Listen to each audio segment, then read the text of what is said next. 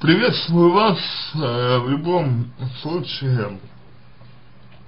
Хочу сказать, что кем бы вы ни являлись, э, нужно понимать, что у дочери серьезные проблемы с самооценкой, с э, уверенностью в себе, э, с детскими обидами на мать и обидами на свою младшую сестру, которая значит, ну, которая априори всегда является, понимаете, э, любимой, более любимой, чем старший ребенок.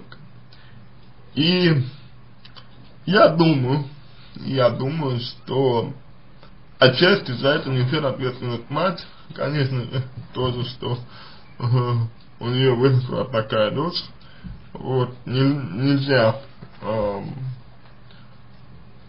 снимать ответственность, ответственности э, с матери, это было бы несправедливо по отношению к дочери, то есть, э, ну, позиционировать вопрос только так, что вот, мол, только дочь э, виновата и все.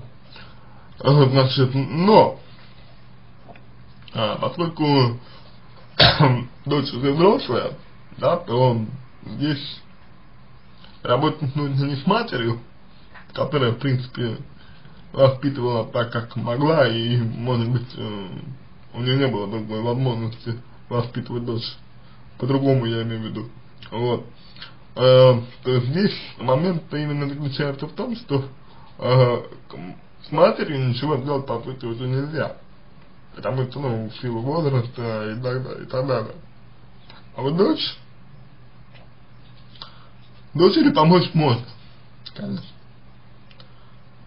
Правда, помочь можно только в том случае, если она сама этого хочет. Если не хочет, то помочь можно весьма-весьма посредственно. Теперь, в первую, в первую очередь, хотел бы сказать, что матери не нужно э, вот, позиционировать дочь как серьезного человека. То есть а ее дочь, это, по сути дела, такой вот обиженный ребенок, который, который застрял в детстве, в некоторых моментах не хочет взрослеть, а в силу своего взрослого уже состояния э, понимает, что какими-то моментами можно манипулировать, использовать их для себя я имею в виду, и тем самым получать с этого ну, какой-то какую-то пользу, в общем. И по сути дела, по сути дела, а, вот подобная вещь, когда мы говорим о таком отношении к э, таком Э, когда мы говорим о таком отношении дочери, э, всегда э, имеет значение то, что самой маме дочерью вообще ничего не сделать. То есть э, дочь не настроена ее слушать, у дочери своя модель поведения, и если мама хочет это изменить, то в первую очередь э, речь идет именно о личностных границах на самом на самом-то деле. То есть именно личностные границы это то, что является основным для мам. мам. Что это значит? Вот э, почему мама позволяет себе такое отношение? Почему она позволяет дочери э, так к себе относиться? Почему она позволяет шантажировать, обзывать и так далее? Почему вообще пускает ее к себе, к себе? Ведь имеет же право этого не делать, правильно? Вот об этом и нужно разговаривать, в первую очередь, с мамой.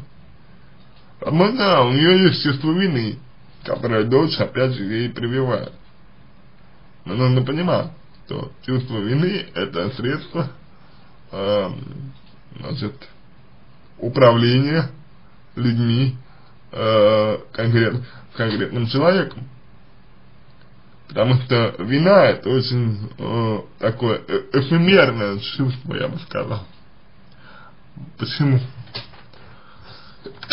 Дело в том, что э, если человек может, может что-то исправить в том, в том, в чем он виноват, то он берет и исправляет.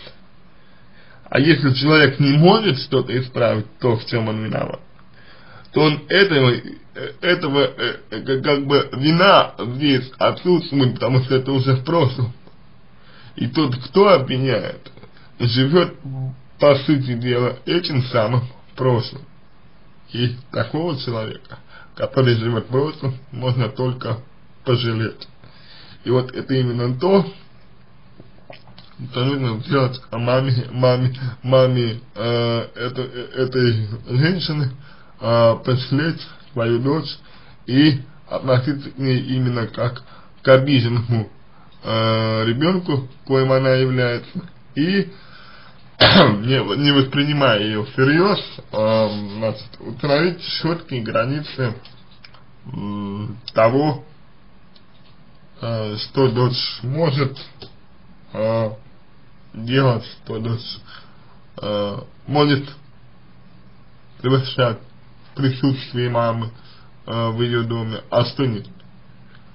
То есть речь идет именно о повышении уверенности матери, о работе над личными границами о, и о избавлении э, от чувства вины. Так, по крайней мере, мне э, видится эта ситуация. Вот, и если вы и есть э, та, та самая мама, то все это адресуется вам, если э, вы не мама, а просто, например, ну, там, неравнодушный человек, скажем так, то в таком э, случае я бы рекомендовал вам вот это вот мое э, видео, мою аудиозапись э, показать матери, чтобы она э, ее послушала и, может быть, обратилась бы сама за помощью психо, э, к психологу. Вот, потому что, ну, вот так вот э, слишком мало информации вы даете э, для того, чтобы можно было как-то проанализировать то, что э, произошло, чтобы как-то вот иметь полную картину, а без полной картины нельзя будет подсказать, как можно будет, как можно исправить ситуацию, хотя бы потому, что, э, понимаете, само, э, сам термин исправить ситуацию может пониматься по-разному. То есть ситуацию исправить как? Как вы хотите исправить ситуацию? Помирить э, маму и дочь, э, чтобы сделать так, чтобы дочь так себя не вела, но это можно сделать только с помощью психолога и с помощью э, установ установки э, четких личных границ. Если этого не будет, то, соответственно, нельзя говорить и о исправлении ситуации. Если вы говорите о том, чтобы прям прямо у всех все было хорошо, то это, к сожалению, довольно сложно будет сделать. Только при условии, если и мама, и дочь захотят работать э, с психологом. Тогда да, тогда, тогда все, все возможно. Но что-то мне подсказывает, что ничего подобного э, не произойдет. И, скорее всего, э, в, луч, в лучшем случае, на что мы можем рассчитывать, это только на то, что э, дочь, ой, то есть мать, э, захочет поработать с психологом, потому что ей в этой, в этой ситуации действительно, действительно тяжело.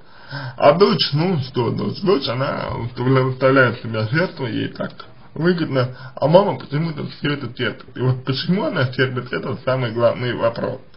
На этом все. Надеюсь, что помог вам. Если какие-то дополнительные вопросы у вас остались, пишите в личку. Помогу, если вам а, понравился мой ответ. Буду благодарен, если сделаете его лучшим.